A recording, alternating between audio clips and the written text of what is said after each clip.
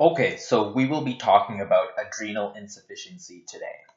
Adrenal insufficiency, well, it's when your adrenals are really insufficient. And by that I mean the hormones that it produces are not being made. Now, to think about adrenal insufficiency, we need to take a step back and really see what adrenals actually make and what the function of these hormones are. We know that the adrenal gland is very important there are two adrenal glands, and they sit right on top of the superior surface of your kidney. They have an outer cortex as well as an inner medulla. Now, for this purpose, um, we are not going to be talking about the medulla because the main hormones that affect um, adrenal insufficiency are in your cortex. The main hormones are mineralocorticoids, which are aldosterone, as well as glucocorticoids, which is cortisol. Uh, something to remember, which may be tested on your board examination, is what part of the adrenal cortex is which hormone made. Well, you can always remember this by understanding GFR, glomerulosa, fasciculata, and reticularis, going from exterior to interior. And you can remember a mnemonic, which is the deeper you go, the sweeter it gets. So starting off from the top, glomerulosa layer, you're going to make aldosterone, which is the function is to keep salt in, right? Sodium, that's pretty salty. That's not too sweet. Going deeper, fasciculata, that's cortisol. We know that does sugar stuff like gluconeogenesis and all that. So that's sugar is pretty sweet. But what's sweeter than sugar is what's found in reticularis, which is DHEA, which is an androgen, and that's a sex hormone, which is of course sweeter than sugar. So, what do these hormones actually do? Well, cortisol, we know, does a bunch of things in the body. It is a steroid. So you're going to be increasing your appetite, blood pressure, you're going to have insulin resistance. It's going to produce sugar through means not through glycolysis, but through gluconeogenesis, breakdown of fats and proteins. And you also get decreased fibroblast activity. If you think back in Cushing's disease, why do they have abdominal striae? Well, because they don't have fibroblast activity and you get stretching of your skin, which causes that abdominal striae. And of course, decreased inflammation. Do you know why? Well, it's because cortisol, the steroid, actually goes into a transcription factor and decreases NFKB formation, which inhibits the formation of cytokines. And aldosterone, we know it acts on the renal tubules. Uh, it increases sodium and uh, makes potassium get excreted. And this eventually raises the blood pressure through water retention because you're retaining salt. So just to go over the mantra of this, the hypothalamus secretes corticosteroid releasing hormone, which acts on the anterior pituitary to secrete ACTH, which then goes to the adrenal glands to secrete cortisol. And cortisol, of course, has negative feedback at every step of the level. Aldosterone, however, is functioned by released by the RAS pathway. So just to go over it again, your macula densa in your nephron senses low fluid or low salt, so it secretes renin. Renin in the bloodstream interacts with angiotensin released from the liver, which converts it to angiotensin 1, which goes up to your lungs, where ACE rests, which converts it into angiotensin 2, which then goes to adrenal cortex and secretes aldosterone, which increases salt retention and water and decreases potassium. Now, before I move forward, I want to ask well, this is how aldosterone increases blood pressure. How does cortisol increase blood pressure? I'll give you a few seconds to think. Well, Cortisol actually has a unique way of increasing blood pressure. Firstly, the main way is through a permissive action. Permissive action means that it doesn't directly increase blood pressure, but it increases it in a different way. What corticosteroids do is that they increase alpha 1 receptors on uh, vascular smooth muscle. This allows increased sensitivity of norepinephrine to act on the alpha 1 receptors and cause vasoconstriction, increasing blood pressure. Another way is that if you have excess cortisol, it can actually act on the mineralocorticoid receptor for aldosterone and function as aldosterone with hypokalemia and hypertension as a result. Now, one of the board questions I got on my personal USMLE Step 1 was that this guy was eating licorice and what would be the effect? And the effect would be actually hypertension. And that's because licorice inhibits the pathway from cortisol to uh, cortisone. And this means that you're going to have more cortisol being shunted towards the mineralocorticoid receptor and increasing the effects of it. So in terms of etiology, there's really three types, primary, secondary, and tertiary. The lesion depends on what type of problem you have. If your adrenals are messed up, you have primary. If your pituitary is messed up, you have secondary. And if you're hypothalamus or you're taking exogenous steroids, then you have tertiary adrenal insufficiency. So let's go through these one by one because they're important and how you treat them is very different as well as diagnosis. So primary adrenal insufficiency. You're probably going to get the most questions on this because there are a lot of questions to ask. In acute primary adrenal insufficiency, it can be caused by massive hemorrhage, um, such as an aortic aneurysm, rupture, aortic dissection, which basically causes ischemia to your uh, adrenals. Or you can have Waterhouse Friderichsen syndrome. Does anybody know what this is caused by? Yes, it's caused by Neisseria meningitidis. So that's another board question that they like to ask. Uh, now, if you have chronic disease, which is called Addison's disease, the guy who discovered this, it can have two etiologies. If you're in the Western world, it's more commonly autoimmune. If you're in the developing world, it's mostly TB. Now, one of the main things that distinguishes primary from secondary and tertiary is hyperpigmentation. Now, to think about why you get hyperpigmentation, you have to really think about what's going on. We know, if I go back here, in primary adrenal insufficiency, your adrenals are messed up. So you're not making cortisol, and ACTH is freaking out, pituitary is freaking out and making a lot of ACTH to make sure cortisol is being made, which is, of course, not going to be made because your adrenals are messed up. So, you're going to be increasing ACTH, and you need to know where ACTH comes from. It comes from a precursor molecule called POMC, which to make ACTH, it needs to get cleaved into ACTH and this thing called MSH, melanocyte stimulating hormone, which stimulates melanocytes to cause hyperpigmentation, which you can have, have hyperpigmentation of your gingiva as well as your skin. Now, because you have loss of your adrenal glands. You're going to have loss of aldosterone, resulting in hyperkalemia and hyponatremia and hypotension. And of course, you have loss of cortisol as well, and metabolic acidosis because you have hyperkalemia. Now, let's contrast this to secondary adrenal insufficiency. Secondary means your pituitary is gone.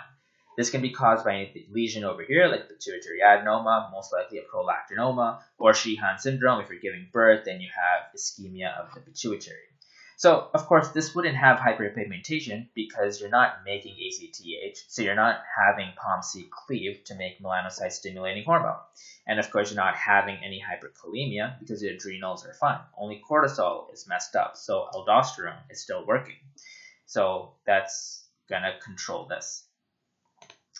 Tertiary adrenal insufficiency can be caused by brain tumors, but mostly it's caused by sudden withdrawal exogenous steroids. And a question that usually asks this is that they usually have some sort of inflammatory disease, organ transplant, or asthma, any reason why they would be wanting to use steroids. And you suddenly take it away. And if you take it away, um, you're not getting any cortisol because this whole system is gone. You don't have CRH, ACTH, you don't have steroids, so um, you can cause hypotension and die. So what are the clinical manifestations? Well, the main feature is shock, as I said. It controls blood pressure, and if you don't have blood pressure control, you're going to be hypotensive, and you're not going to be perfusing your end organs, and you're going to cause shock. But really, you're going to present with non-specific symptoms initially if it's chronic at least. You're going to have nausea, vomiting, weight loss, fatigue. You're going to act very sickly. You might have this thing called acute abdomen. They don't really know what it's caused by, but you have abdominal pain in this.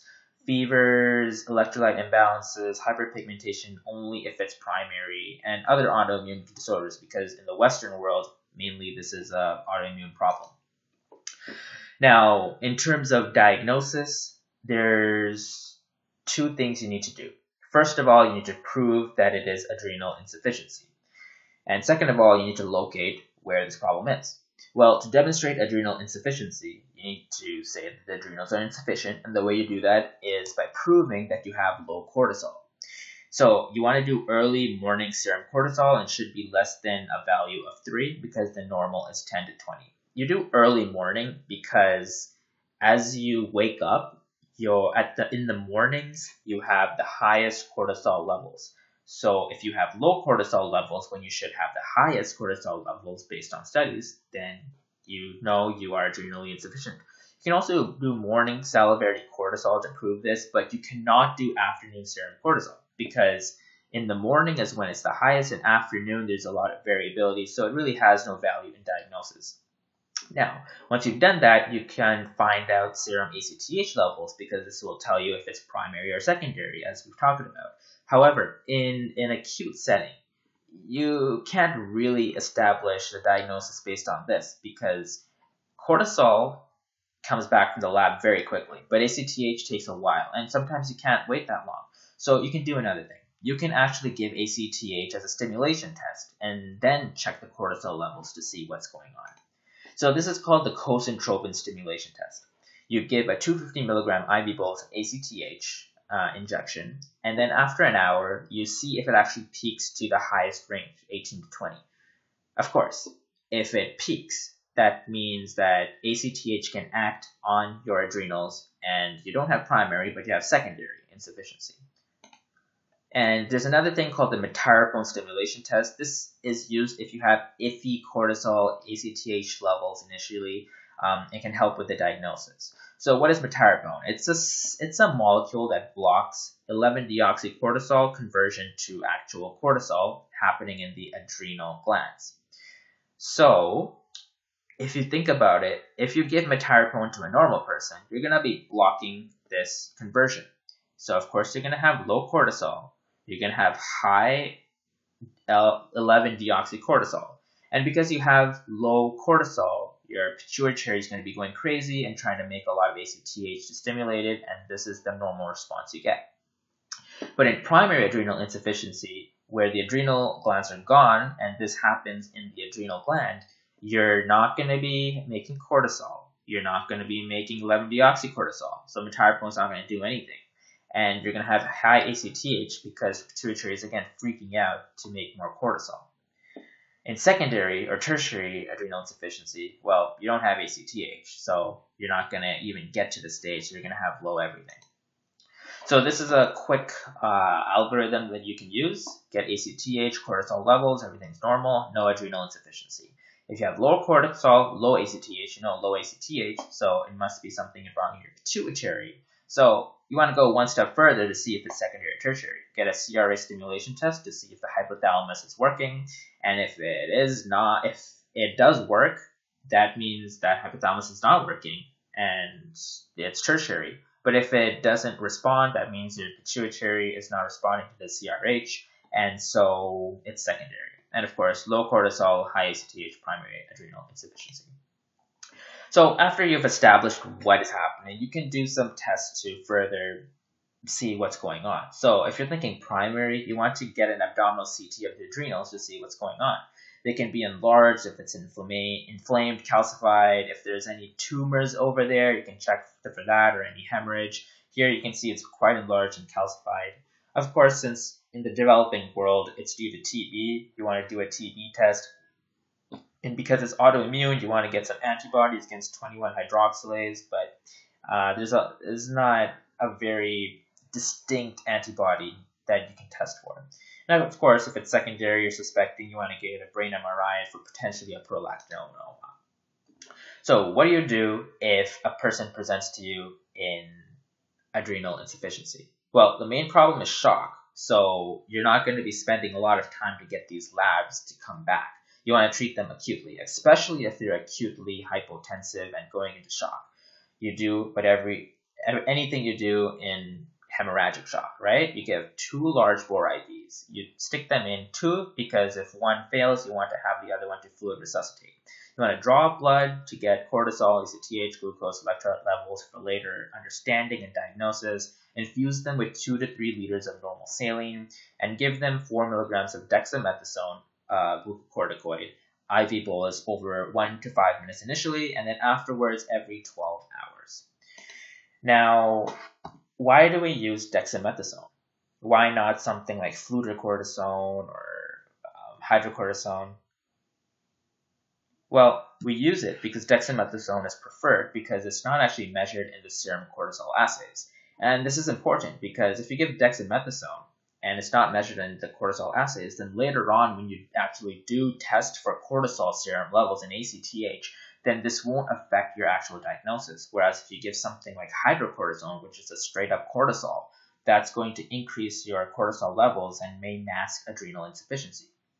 But if you already know this person has a history of adrenal insufficiency, you can give whatever. It doesn't really matter. You have a diagnosis already. Anything is fine. And if the mineralocorticoid uh, is not, of course, if aldosterone is low because adrenal insufficiency, you can give fludrocortisone, which is an aldosterone analog at 0.1 milligrams once per day. But initially, it's not needed because giving aldosterone, it takes a while for the sodium channels to actually kick in. So acutely, it's not really needed. And of course, because you are giving a glucocorticoid, you want to taper it off one to three days IV and then switch to oral so you don't have a rebound effect.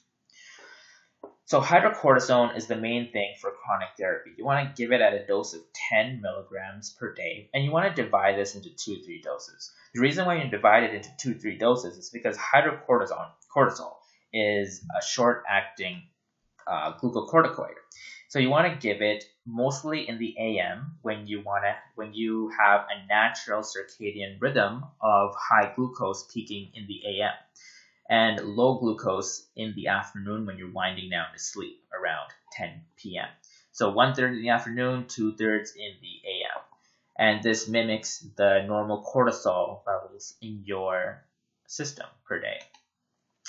Now, it's shown that because your adrenals are messed up, you're not making cortisol, you're not making um, uh, you're not making cortisol, you're not making aldosterone, and of course, the fasciculata layer makes androgens, so you're not making androgens as well.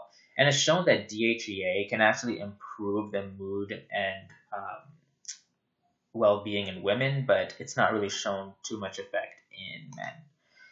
Now, there's a neat thing that may come up on your board exams.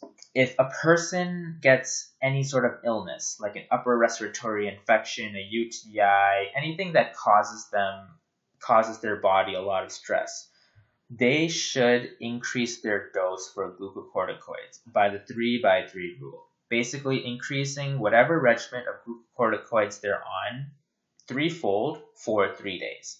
And the logic behind this is that you're going to prevent any adrenal insufficiency from happening, and the glucocorticoids should not compromise the immune system, even though they are um, anti inflammatory and decrease the immune system. So, in the end, what does a person with adrenal insufficiency do?